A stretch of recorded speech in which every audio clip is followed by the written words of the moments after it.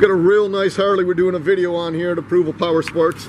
Speaking of Harleys, we got over 350 used Harleys. We got leasing programs for Harleys. We got uh, guaranteed financing programs. We got over 600 used bikes total. Out of state financing, nationwide shipping. If you guys can't find it here, you're not a rider. One we're doing a video on is a 2006 Harley Davidson Fat Boy. Wow, she's priced right. $64.99. Wow. It's a good looking uh, paint scheme, blue and silver. I see it's got tons of chrome on it.